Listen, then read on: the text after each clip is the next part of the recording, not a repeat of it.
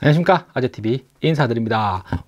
오늘은 여러분들께 어, sniper 라이플 한 정 소개시켜 드리려고 합니다. 오늘 여러분들께 소개시켜 드릴 제품은 바로 마루이에서 판매하고 있는 air cocking 방식의 sniper 라이플 바로 VSR 10입니다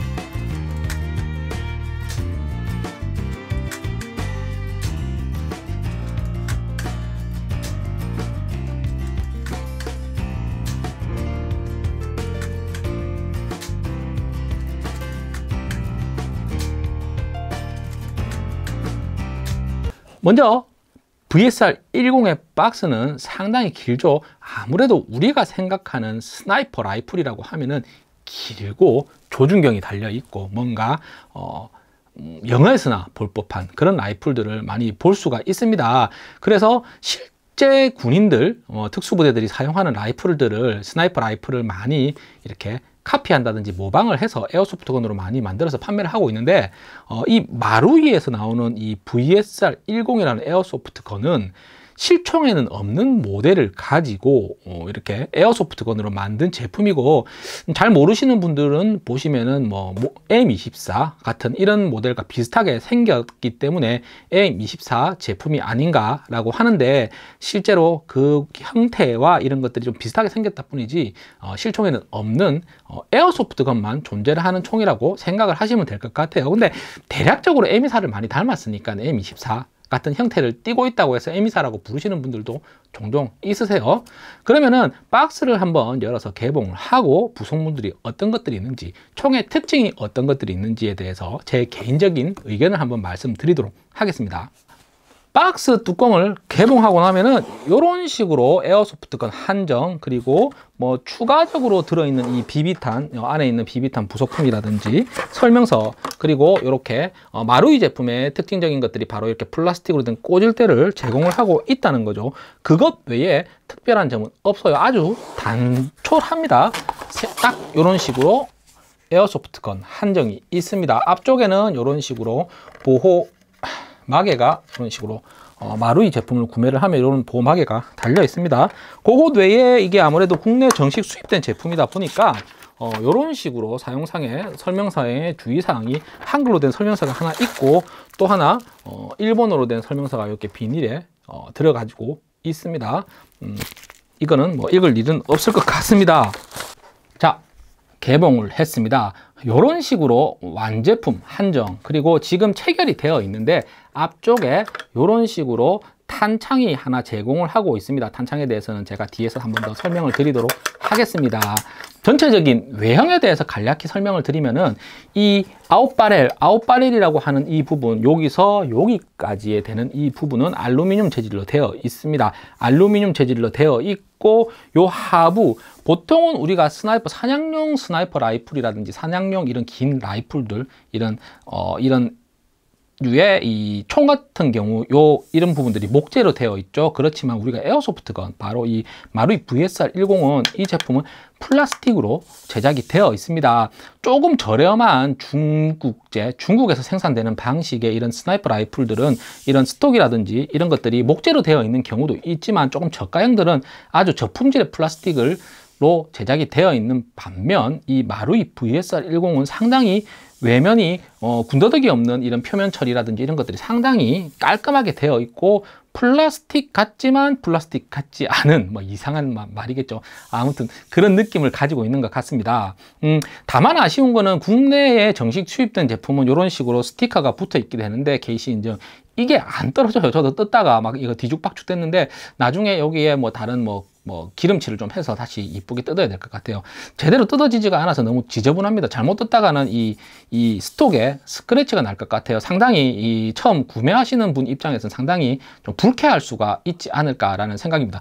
굳이 이렇게 떨어지지도 않는 스티커를 이런 부, 부위에 붙여 놓았는 건 이유가 뭐 때문인지는 잘 모르겠습니다. 음, 아무튼 사설이 길었네요. 아무튼 어, 그런 식으로 플라스틱으로 구성이 되어 있고 이 스톡 부분, 이 뒷부분 스톡은 이 고무로 되어 있습니다. 고무로 되어 있고 살짝 몰랑몰랑한 뭐 칙패드 형태라고 해야 되겠죠. 약간 몰랑몰랑한 고무로 되어 있습니다. 어, 고무로 되어 있고 이 뒷부분에 VSR이라는 어, 양각 튀어나온 각인이 이 cheek pad 뒤쪽에 이런 식으로 되어 있다는 것 참고로 하시면 될 것 같습니다. 음, 이 총은 이 sniper 라이플은 air cocking 방식 바로 장전을 어, 스프링 방식으로 장전을 하기 때문에 이 장전 바를 이렇게 한 발 뒤로 당기고 앞으로 밀고 내린 상태에서 이 상태에서 이렇게 탕 격발을 하는 방식으로 별도의 배터리나 가스가 필요하지 않습니다. 않기 때문에 음, 실제로 구매를 하게 되면은 추가적으로 비비탄을 제외한 나머지로 추가적으로 구매해야 될 부분들은 없기 때문에 조금 어, 소비에 좀 음, 이익이 있겠죠. 아무래도 처음 airsoft gun을 접할 때 이런 air cocking 방식 제품들 꼭 이 sniper 라이플이 아니더라도 음, handgun이라든지 이런 air cocking 방식들을 처음 접하면서 가스식으로 간다든지 아니면 전동 방식으로 간다든지 뭐 HP를 간다든지 이런 식으로 한 단계 한 단계 올라가면 좋지 않을까 생각을 해요. 그리고 아래쪽에 이 trigger 울과 trigger가 있는데 이 trigger 같은 경우는 이 쇠로 되어 있는데 이 trigger 울은 이 trigger 울은 플라스틱으로 되어 있습니다. 플라스틱으로 되어 있기 때문에 조금 뭔가 좀 언밸런스 하죠. 근데 무게도 가볍기 때문에 뭐 이게 뭐 호불호는 있을 것 같아요. 좀 파손의 위험은 있 있을 것 같긴 한데 굳이 요것도 요것도 메탈이고 요 윗부분에 장전바라든지 아니면은 이 outer barrel 다 메탈로 되어 있는데 이 트리거 울을 왜 플라스틱으로 했을지에 대해서는 조금 어, question mark를 좀 가질 수 있을 것 같습니다. 음, 요것도 쇠로 만들었으면 좋지 않았을까라는 개인적인 생각을 가지고 있네요. 음, 그리고 이 마루이 VSR 10의 hop-up 거는 방식은 이 외부로 노출되어 있는 방식으로서 이 왼쪽 편, 왼쪽 편에 보시면은 이렇게 hop-up을 걸 수 있는 부분이 있습니다. 이 부분을 앞으로 당기고 뒤로 당겨서 hop-up을 걸고 hop-up을 푸는 이런 구조로 되어 있습니다. 상당히 빡빡해요. 빡빡하는데 한 발 한 발 사격을 할 때마다 이게 풀리지 않게끔 되어 있다 보니까 그렇다고 생각을 하고 한 칸 한 칸 미세하게 조절이 가능해요. 움직일 때마다 이렇게 딸깍딸깍 하면서 움직이는 이런 느낌 예, 이런 식으로 한 칸 한 칸씩 움직일 수 있기 때문에 어, 미세한 hop-up 조절이 가능하다는 장점이 있습니다. 그리고 별도로 내부에 무슨 특정 특별 공구를 이용해서 hop-up을 걸지 않기 때문에 어, hop-up 거는 데는 상당히 이점이 있습니다. 몇몇 제품들 같은 경우는 안쪽에 육각 렌치로 hop-up을 건다든지 뭐 그런 불편한 점이 있는데 이 제품은 이렇게 음, 외부에 hop-up 거는 부분이 노출이 되어 있다는 거 참고로 하시면 될 것 같습니다.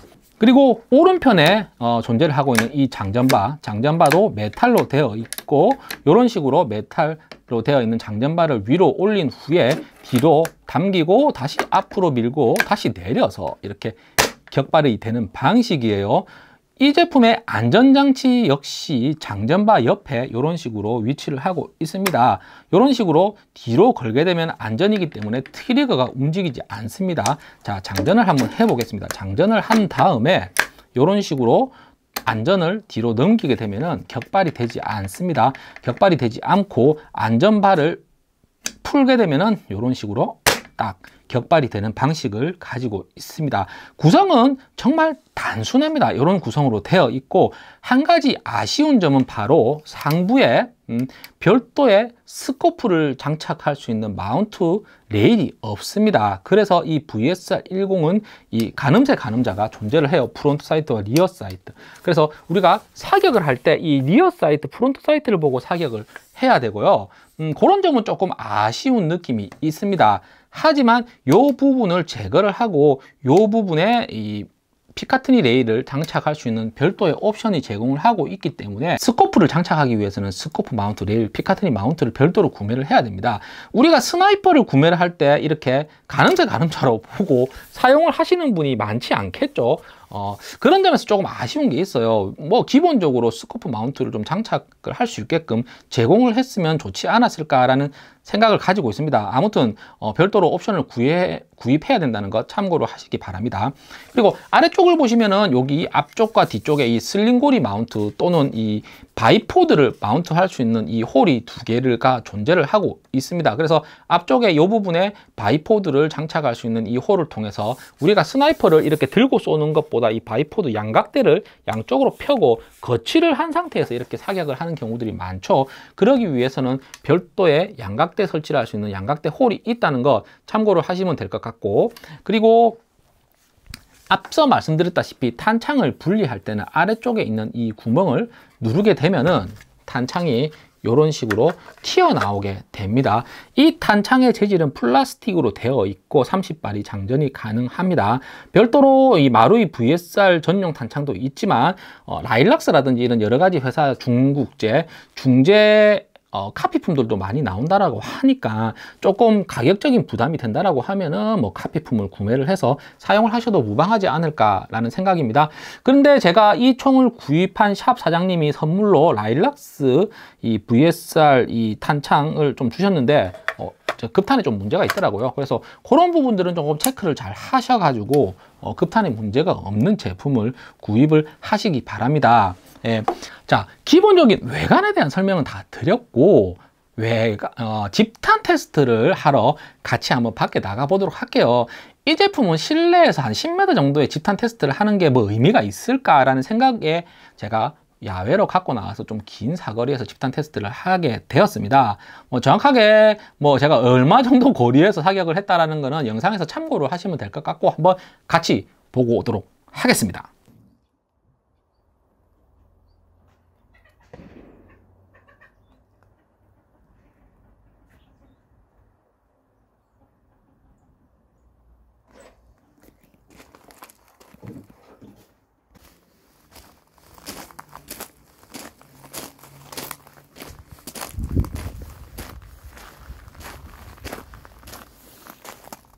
이게 첫 번째 타켓 생각보다 작죠? 두 번째 타켓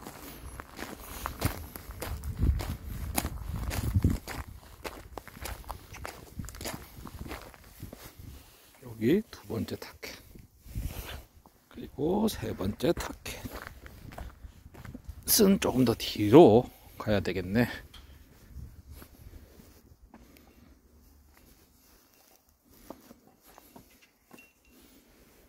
오케이 조금 더 뒤로? 이렇게 보면은 제가 쏠 곳이 저 끝이죠. 좀 멀어요. 상당히 멀어요. 어, 생각보다 멉니다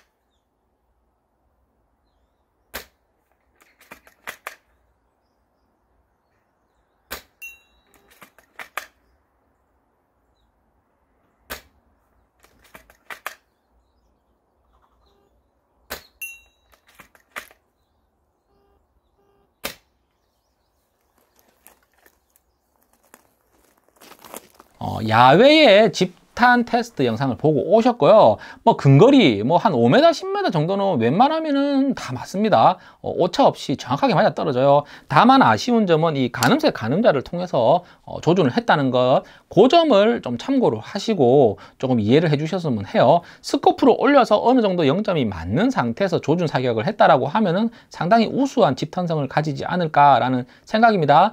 어, 영상에서 보신 것처럼 제일 멀리 있는 거리가 대략적으로 게임을 뛰시는 분 기준으로 뭐 게임 사거리 정도 된다라고 보시면 됩니다. 그 정도 거리에서 어 제가 가늠새 가늠자로 쏘다 보니까 이게 아무래도 이 처음 한 한 발 맞추는 게 상당히 어렵더라고요. 그리고 야외에서 바람이 부는데 사격을 하다 보니까 있는데 실제로 타켓도 뭐한요 정도밖에 안 돼요. 요 정도밖에 안 되는데 뭐 한 2, 30m 거리에서 맞춘다는 게 어, 순정 상태에서 그 정도면 저는 개인적으로 상당히 우수하다라고 생각을 합니다.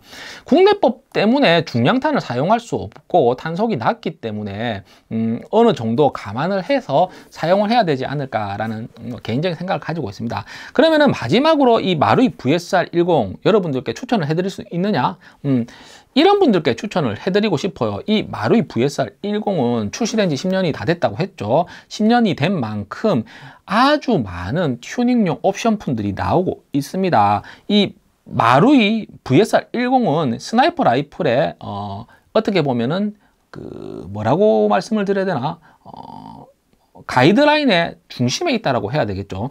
중심에 있기 때문에 내가 이 제품을 구입해서 여러 가지 튜닝을 해가지고 최고의 sniper rifle을 만들고 싶다고 하시는 분 그리고 총을 사고 총값 두배세 배 이상의 돈을 들여서 튜닝할 수 있는 용기 있는 자분께 추천을 드리고 싶습니다.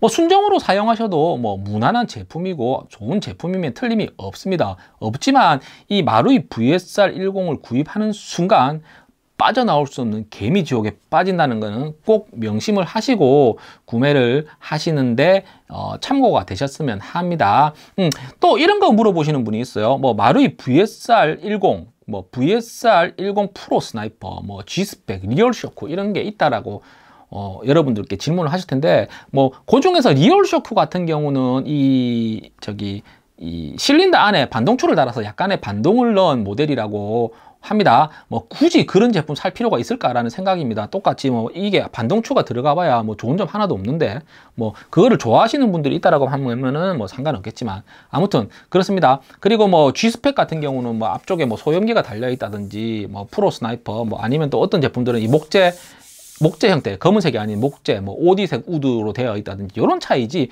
기본적인 이 실린더 엔진의 차이는 크게 없다라고 생각을 하시면 될 것 같고 음, 이 제품을 사서 멋지게 튜닝을 하실 분들은 바로 이 VSR10 이 기본 베이스가 되는 이 제품을 구매를 하셔가지고 튜닝을 하시면 될 것 같습니다. 앞으로 제가 이 마루이 VSR10을 여러 가지 튜닝을 하는 이런 영상들도 추가적으로 올리도록 하겠습니다. 이미 제 총방에는 어, Maple Leaf에서 나오는 이 tactical한 이, 이, 이 뭐야 이 뭐라고 하지 이, 이 부분 이, 그, 이 프레임 부분을 교체를 하기 위해서 어, 준비를 다 해놨죠. 예, 해놓고 저도 여러 가지 scope도 올리고 이렇게 해서 튜닝을 할 생각입니다. 그러면은 오늘은 여러분들께 마루이 VSR 10 바로 이 어, sniper rifle air cocking 방식의 sniper rifle을 소개를 시켜 드렸습니다. 음, 음, 초보분들이 구매를 해도 괜찮고 오랫동안 airsoft gun을 어, 사랑하고 또 튜닝을 하고 만졌던 분들도 구매를 해서 여러 가지 custom하는 이런 재미를 줄 수 있는 sniper rifle이 되지 않을까라는 생각입니다. 아무튼 새해에 올리는 뭐 어, airsoft gun 리뷰 영상의 그 첫 번째 서막이 이 바로 마루이 VSR 10이지 않을까라는 생각으로 올 한해는 가능하면은 sniper rifle 위주로 한번 제가 sniper 붐을 한번 일으켜 보고 싶다는 강한 포부를 가지고 있습니다. 그러면 다음 이 시간에 또 다른 영상으로 돌아오도록 하겠습니다.